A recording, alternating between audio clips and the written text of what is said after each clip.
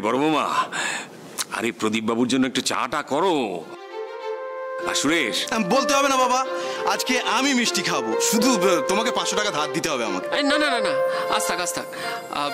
বললাম না ট্রিটটা পাওনা রইল। বরঞ্চ আরেকদিন হবে। আমি আজকে আসি।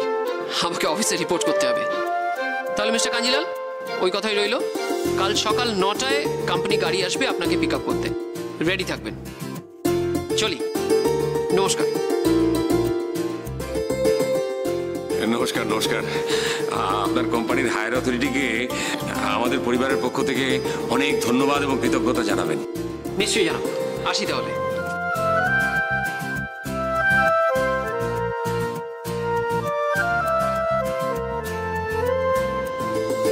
আরে সর্বমঙ্গলা তুমি ওরকম মুখ কাচুমাচু করে দাঁড়িয়ে আছো কেন? সবাই কত কিছু বায়না করছে। বায়না তো তোমারই আগে করার কথা। তো তুমি কিছু বলো।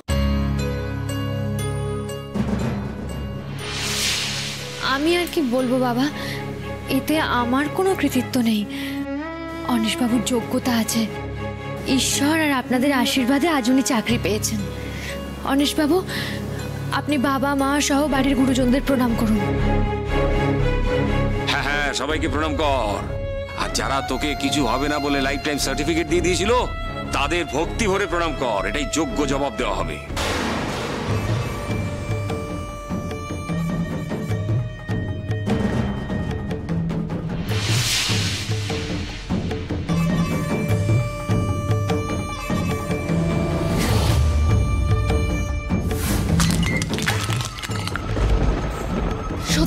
পারছি না।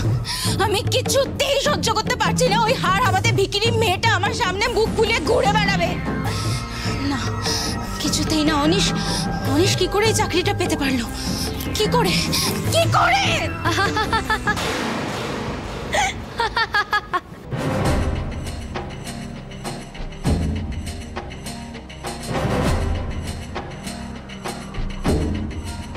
কি করছ তুমি এখানে? বেরিয়ে যাও। বেরিয়ে যাও বলছি। কি? সঞ্জনা দেবী? কাঞ্জিলাল বাড়ির না কুচু মেজো বউ? এবার তোমার কি হবে? বাড়ির ছোট ছেলে তো নাকে একেবারে ঝামা ঘষে দিল। এখন এই ঘষা নাক তুমি ছোট বউকে দেখাবে কেমন করে? ছোট বউ? কে ছোট বউ? তুমি এই বাড়ির কাজের লোক, বুঝেছ? বেরিয়ে যাও। বেরিয়ে যাও এখান থেকে। আরে, এক লাখের মালিক চল্লিশ হাজারের ঘরে কাজ করে, নাকি চল্লিশ হাজারের মালিক এক লাখের ঘরে কাজ করে?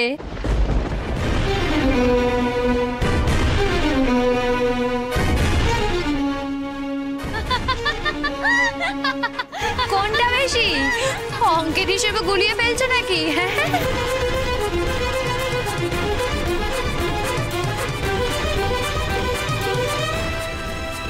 মেজ বৌদি?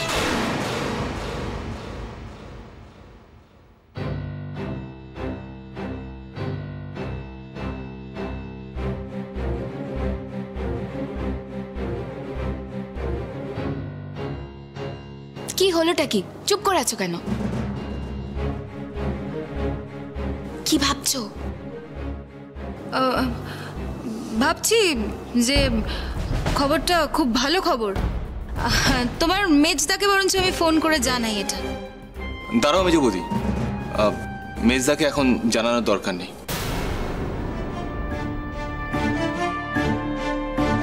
কেন রে? এত ভালো একটা খবর দেবেশকে জানাবে না কেন? না বলছিলাম যে এই চাকরিটা নিয়ে বেশি তোমরা মাথামাতি করো না। আমাকে পুরো ব্যাপারটা নিয়ে একটু ভাবতে দাও। এতে ভাবার কি আছে অনিশ বাবু এত বড় একটা সুযোগ ইন্টারভিউ পর্যন্ত দিতে হলো না। বাড়ি বই এসে চাকরিতে জয়েন করার চিঠি দিয়ে গেল। সেটাই তো ভাবনার বিষয়, সর্বমঙ্গলা। একটা লোক যার সঙ্গে আমার সকালবেলা দেখা হলো আর বিকেলবেলায় সে আমাকে চাকরির অ্যাপয়েন্টমেন্ট লেটার হাতে দিয়ে গেল, যার মাইনে এক লাখ টাকা। এটা আমার কাছে কোথাও একটা অবিশ্বাস্য মনে হচ্ছে। একটা কাজ করি, আমি আমি কালকে একটু যাই ওখানে গিয়ে ওই চাকরির টার্মস অ্যান্ড কন্ডিশনটা একটু বুঝে নিই। তারপরে এই চাকরিটা করার ব্যাপারে আমি আমি ডিসিশন নেব। আরে টার্মস অ্যান্ড কন্ডিশন আর কি হবে? তোকে তো আর ইলিগালি কিছু করতে বলবে না। একটু বেশি দায়িত্ব দেবে হয়তো একটু বেশি পরিশ্রম করতে হবে। আর সে তো করতেই হবে। আরে বাবা এক লাখ টাকা তো আর মুখ দেখে দেবে না। আপনি তো পরিশ্রম করতে বা দায়িত্ব নিতে পিছু পা হন না অনিশ বাবু আপনি ঠিক পারবেন। আরে ভাইয়া পারবি পারবি তুই সব পারবি। আর এত আগে থেকে এরকম নেগেটিভ হয়ে যাস না তো? আমার ভাইয়া তো সূর্যের আলোর মতো। যেখানে যায় সেখানে একদম আলো করে দেয়।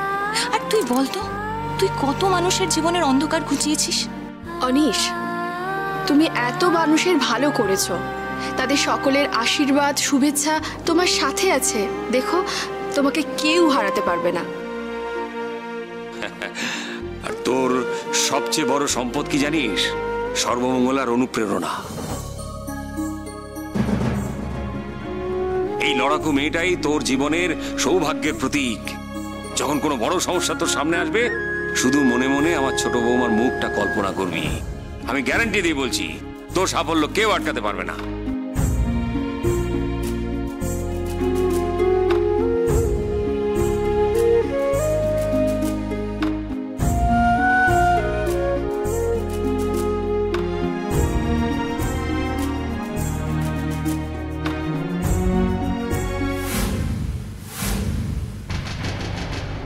অমিতা, তোমার আবার কি হলো? আরে শোনো, তোমার সঙ্গে কথা আছে, অমিতা। ওহো। চলো ওপরে এসো। তুমি যাও, আমি আসছি। দিদি ভাই, শোন।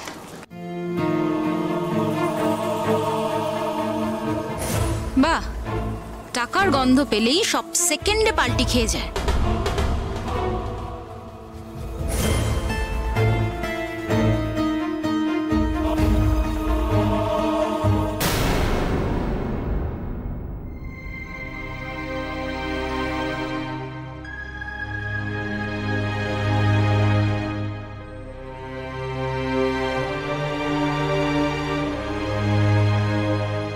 কি ব্যাপার বলুন তো? কি কিসের? এই যে হরিদার ঘর থেকে আপনি দৌড়ে দৌড়ে এখানে এলেন কেন? কিছু কি দরকারি কাজ ছিল? কই না তো। আর শুনুন আজ কিন্তু আপনি তাড়াতাড়ি খেয়ে দিয়ে শুয়ে পড়বেন বিশ্রাম নেবেন। কাল সকালে একদম সকাল সকাল ভালো জামা কাপড় পরে আপনাকে রেডি থাকতে হবে। গাড়ি কিন্তু ঠিক নটায় আসবে হ্যাঁ? আপনাকে কিন্তু সাড়ে আটটার মধ্যে খেতে বসে পড়তে হবে। এতদিনে ভগবান মুখ তুলে চেয়েছেন। এত বড় একটা চাকরির সুযোগ। আপনি কিন্তু আর কিচ্ছু ভাববেন না কোনো দিকে তাকাবেন না। শুধু মন দিয়ে চাকরিটা করবেন। দেখেছেন তো আপনার চাকরি পাওয়ার খবর পেয়ে বাড়ির সবার মনটা কেমন খুশি খুশি হয়ে গেছে?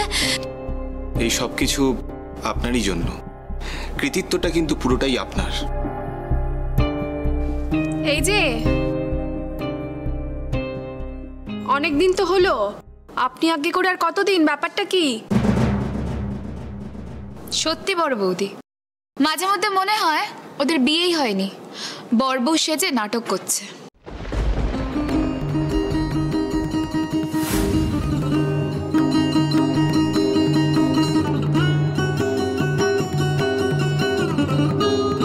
সঙ্গীতা তুই কিন্তু বড্ড পাকা হয়ে গেছিস হ্যাঁ?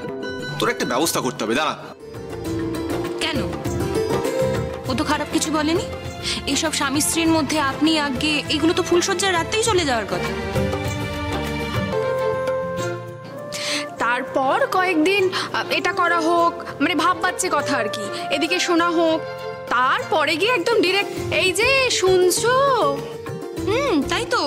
এই বলো না গো শোনো না গো।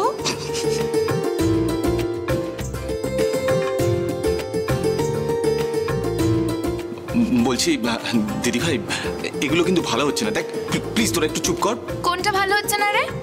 আচ্ছা এখনকার দিনে কোনো হাজব্যান্ড অ্যান্ড ওয়াইফ আপনি আগে করে কথা বলে? আচ্ছা দিদি ভাই বল এর জন্য মনে হচ্ছে না ওদের বিয়েটা একটা ফলস ম্যারেজ এই চুপ কর তো। সবার সামনে এত কাণ্ড করে বিয়ে হলো আর সেটা ফলস হয় কি করে? আরে বাবা বলবে বলবে বা- আপনি থেকে তুমি হবে। এতদিন একটা টেনশন ছিল চাকরি বাকরি ছিল না। এখন তো আর কোনো টেনশন নেই। এবারে দেখো না ভালোবাসাও বেড়ে যাবে আপনি থেকে একদম সোজা তুমি হয়ে যাবে। কি বলো তো এই মায়ের জন্যই যত সব গন্ডগোল হয়েছে। মা ফুলসজ্জাটা করতেই দিল না গোড়ায় গেল। ফুলসজ্জা হলে কবে আপনি তুমি হয়ে যেত? কি সর্বমঙ্গলা তাই তো?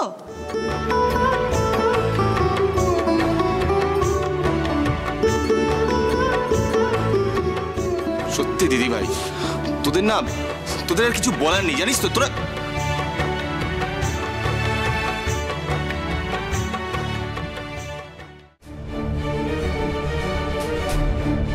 এই আনন্দের মাঝখানে অনিশবাবুকে কিছুতেই এই কথা বলা যাবে না। ওনাকে এসবের মধ্যে জড়ানোর দরকার নেই। যা করার আমাকেই করতে হবে। বনুকে আমায় উদ্ধার করতেই হবে। যে করেই হোক বাঁচাতে হবে ওকে। তাও আজ রাত দশটার মধ্যে। কিন্তু গৌরী কোন হোটেলে আছে? আমি কি করে জানব?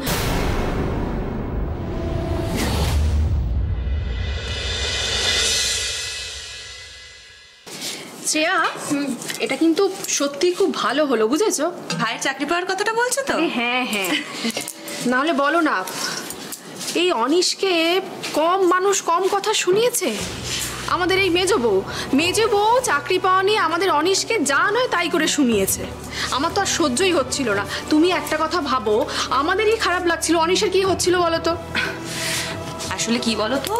ভাইয়া এগুলো কখনোই গায়ে মাখতো না। তবে হ্যাঁ আজকে ও চাকরি পেয়ে সবার মুখ বন্ধ করে দিয়েছে কিন্তু। একদম ঠিক কথা বলেছ। কেন দেখলে না? সঞ্জনাকে? ভাইয়ার চাকরি পাওয়ার খবরটা শুনতেই কেমন কেমন ঘরে চলে গেল? এক মিনিটও দাঁড়িয়েছে? তারপর থেকে তো আমি আর নিচে নামতেও দেখিনি। এই জানো আমিও দেখিনি। কি ব্যাপার? কি নিয়ে এত হাসাহাসি হচ্ছে শুনি? না না কিছু না ওই ওই আর কি। কিছু তো একটা বটেই। আর সেটা যে একটা মজার কথা আমি সেটাও বুঝতে পেরেছি। কিন্তু সেটা আমাকে বলা যায় না তাই তো? না মা। আরে বাবা। আচ্ছা তুমি শুনবে? শুনবে আমরা কি নিয়ে হাসাহাসি করছিলাম? না বাবা না। আমি তোদের ননদ বৌদির কথার মধ্যে ঢুকতেও চাই না আর শুনতেও চাই না। বড় বৌমা আমি তোমাদের একটা অন্য কথা বলতে এলাম। কি কথা মা? তোমার কি কিছু লাগবে? না আমার কিছু লাগবে না আমি আসলে এনে এই টাকাটা দিতে এলাম। টাকা কিসের টাকা? এটা কেন মা? মানে এটা আমার জমানো টাকা। অনিশকে বলবি যে আজকে বাজারে গিয়ে যেন বেশ আড়াই না তিন কিলো মাংসই আনুক। তিন কিলো মাংস আনতে বলবি আজকে রাত্রে আমরা সবাই মাংস ভাত খাব। আজকে আমরা মাংস ভাত খাব। হ্যাঁ আজকে আসলে এত বড় একটা খুশির দিন। অনিষ্ঠা যে এত ভালো চাকরি পাবে, ছেলেটাকে মাঝে মাঝে কত বকাবকি করেছি। আজ এই বাড়ির সবচেয়ে আনন্দের দিন। অনিষ্ঠা এত বড় চাকরি পেয়ে নিজেও শান্তি পেল আমরাও শান্তি পেলাম। তোর বাবাও খুব খুশি হয়েছে জানিস? আমরাও খুব খুশি হয়েছি মা। জানি তো। তোরা যে খুশি হয়েছিস সেটা আমিও জানি। তাহলে এক কাজ কর অনিশকে ডাক ডেকে টাকাটা দিয়ে দে হ্যাঁ? মা তুমি অনিশকে টাকাটা দিয়ে বলো না। হ্যাঁ মা। তুমি দাও না। বলছো? ঠিক আছে? অনিশ? অনিশ? অনিশ? হ্যাঁ মা বলো ডাকছো? একবার নিচে আয় দরকার আছে। আসছি। দে।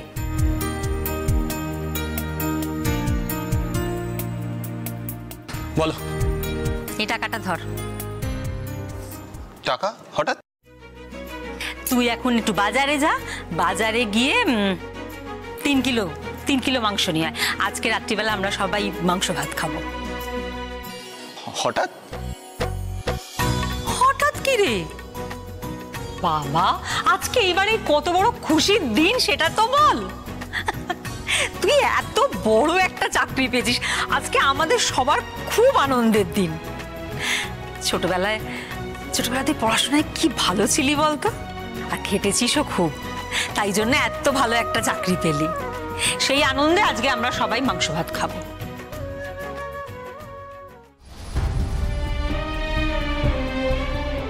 হ্যাঁ মা, আমি খুব সহজেই এই ভালো চাকরিটা পেয়ে গেলাম। সেটাই খুব অবাক লাগছে, এত সহজে এত ভালো চাকরি। এত টাকার মাইনের চাকরি পাওয়া যায় কিনা, সেটাই বুঝতে পারছি না। কেমন যেন খটকা লাগছে। কাল গেলেই বুঝতে পারব।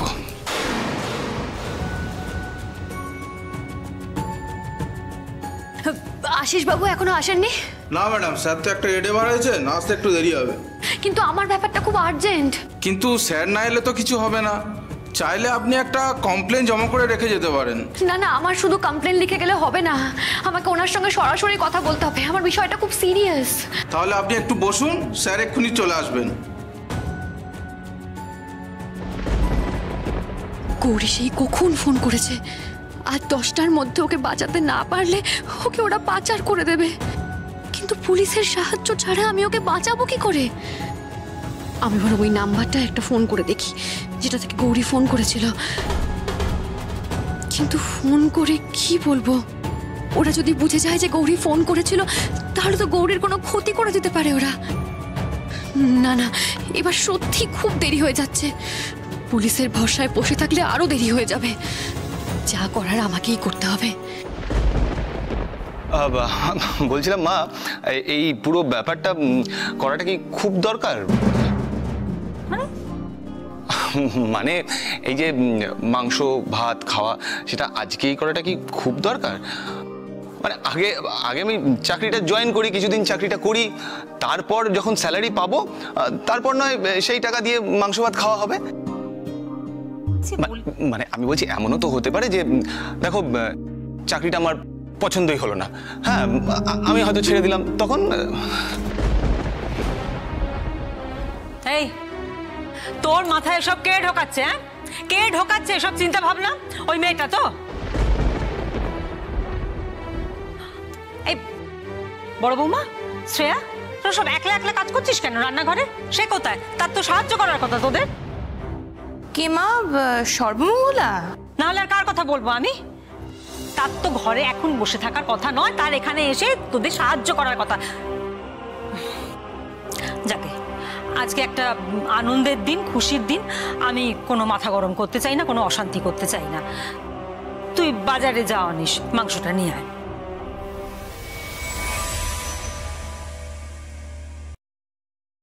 ও আপনি এসছেন? হ্যাঁ বলুন কি ব্যাপার? আমার বোন আমার বোন খুব বিপদে পড়ে চোখে বাঁচান, স্যার। কয়েক মাস আগে ওর মাথায় বিদেশ যাবার ভূত চেপেছিল, আর তারপর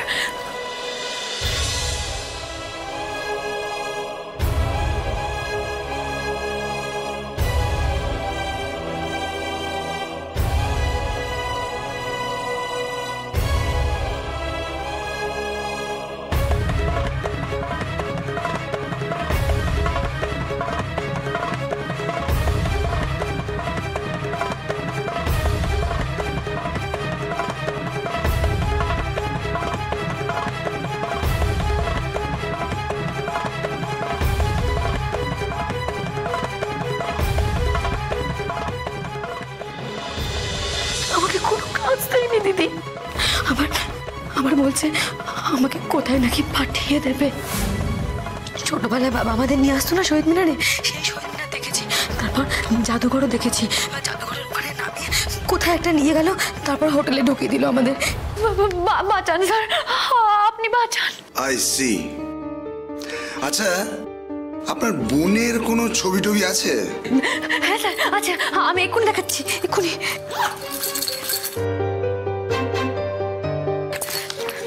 এই দেখুন স্যার।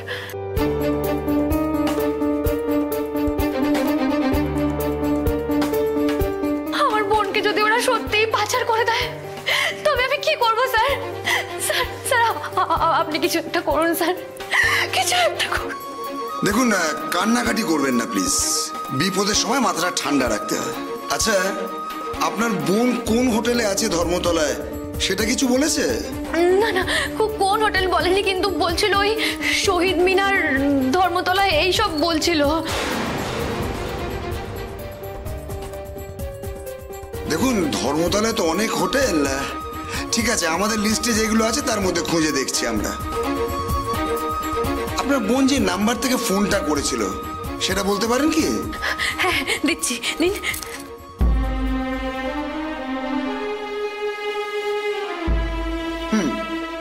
বলুন তো।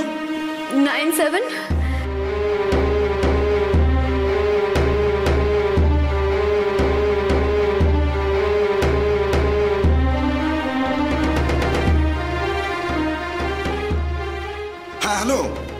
আমি তোমাকে একটা নাম্বার পাঠাচ্ছি।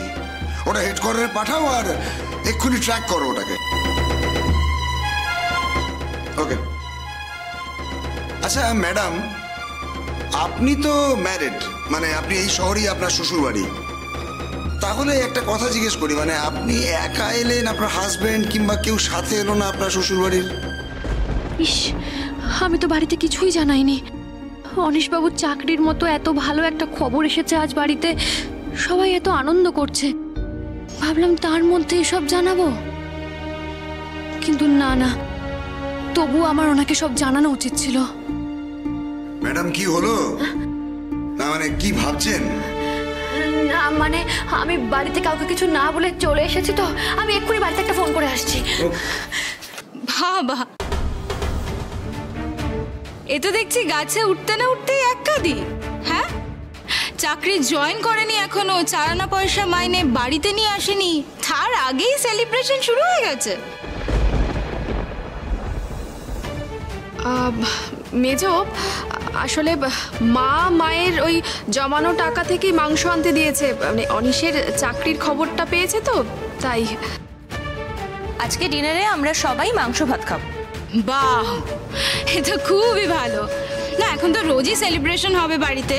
অনিশ এক লাখ টাকা মাইনের চাকরি পেয়েছে বলে কথা। রোজই বাড়িতে সবাইকে ট্রিট দেবে সেলিব্রেট করবে। কি অনিশ তাই না? তখন কিন্তু শুধু নিজের কথা ভাবলে হবে না। মানে আমি তো কখনোই শুধুমাত্র নিজের কথা ভাবি না। আমি তো সবারই জন্য কিছু না কিছু করার চেষ্টা করি। আর ভবিষ্যতেও সেটাই করব। এরকম কত কথা তো কতজনই বলে। না বিয়ের আগে চাকরি পেলে অবশ্য অন্যরকম ব্যাপার ছিল। কেন? বিয়ের পরেই চাকরি পেয়ে বা অন্যরকম কি হয়েছে? বারে অন্যরকম না। তোমার এখন বিয়ে হয়ে গেছে বউ রয়েছে সে আবার ব্যবসায়ী মানে বিজনেস ওম্যান কত বুদ্ধি তার। তুমি তখন বউয়ের কথাই শুনবে তাই না? সে যদি বলে যে চাকরির টাকায় তুমি আমাদের ট্রিট দেবে না তাহলে তুমি খাওয়াবে না। সে যদি বলে তোমাকে টাকা সঞ্চয় করতে তাহলে তুমি সেটাই করবে তাই না? মেজ বৌদি তোমার মনে হয় কোথাও একটা ভুল হয়েছে। তুমি যদি সবাইকে মেজদা ভাইয়ের মতন বোকা ভাবো তাহলে কিন্তু একটু ভুল করবে। হ্যাঁ মেজদা ভাই তার বউয়ের কথা শোনে মানে তোমার কথা শোনে তার বউকে ভয় পায় কিন্তু তাই বলে যে আমিও সেটাই করব তার কি মানে আছে বলো?